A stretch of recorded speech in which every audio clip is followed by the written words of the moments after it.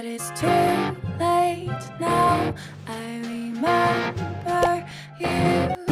Oh,